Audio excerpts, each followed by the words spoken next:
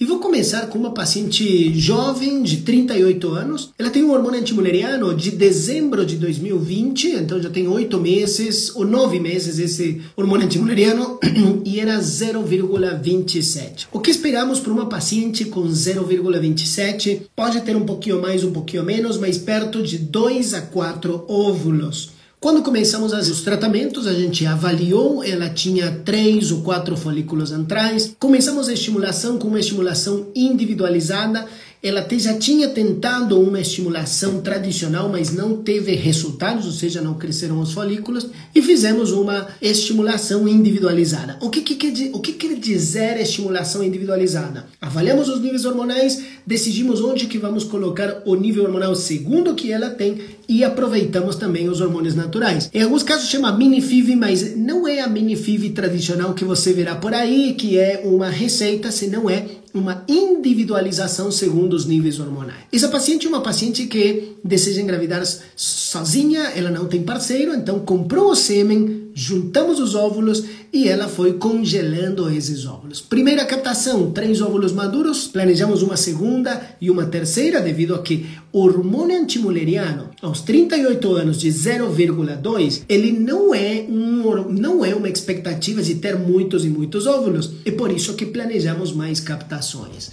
Na segunda tentativa fizemos no segundo ciclo conseguimos novamente três óvulos se era interessante que alguns óvulos tinham uma qualidade menor, melhor e outros umas alguns detalhes que nos diziam de que talvez não seriam óvulos eh, com tanta qualidade.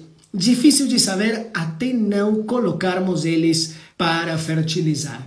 E fomos no último ciclo, que foi essa quarta-feira, conseguimos dessa vez oito óvulos, então teve um resultado em quantidade melhor, mas só cinco óvulos eram maduros. Na verdade, eram três maduros e dois que amadureceram no laboratório, mas tiveram um resultado um pouco menor. Descongelamos todos, fertilizamos e hoje nós estamos com um, dois, três, quatro, cinco, seis óvulos fertilizados. O que quer dizer isto? Quando temos necessidade de juntar óvulos por baixa reserva ovariana, uma das estratégias, se, se não temos possibilidade de fertilizar o tempo todo, não temos várias amostras de sêmen, por exemplo, porque uma paciente que fará uma gravidez solo, ela eh, vai juntar os óvulos e nós vamos fertilizar depois todos juntos. Então, essa paciente de 38 anos, hormônio antimuleriano 02, hoje estamos com, com, graças a essa estratégia, com seis possíveis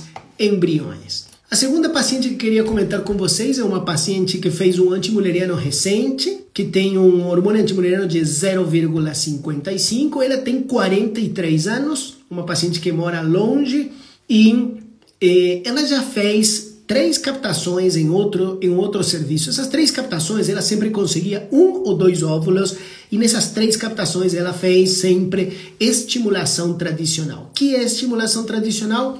Aquelas injeções que você começa no segundo ou terceiro dia, todos os dias as injeções e você chega no final e capta esses todos os óvulos, aspira todos os óvulos. Fizemos uma primeira captação, isto foi dia 18, então foi agora na quarta-feira, conseguimos três óvulos, três maduros, fertilizamos os três e temos hoje três óvulos fertilizados. Ontem foi, amanhã teremos novidades também delas. Então, a individualização pode sim fazer diferença. Porque ela fazia estimulação com doses máximas, agora ela utilizou mil unidades. Mil unidades, para quem não entende, por exemplo, o que, que isso significa, e foi até um pouquinho acima do que em geral a gente faz e se você fizesse uma fertilização in vitro tradicional, a gente colocaria 300 unidades por dia. Então, em três dias, ela já praticamente chega ao mesmo que ela fez num tratamento que fez uma captação no 16º dia do ciclo, que era o melhor dia para a gente chegar a essa captação, e conseguimos aí os três óvulos maduros, três fertilizados, chances de três embriões. Essa paciente vamos checar para ver se ela tem, ela tem planejado também fazer biópsia desses embriões. Então vamos esperar até o quinto dia.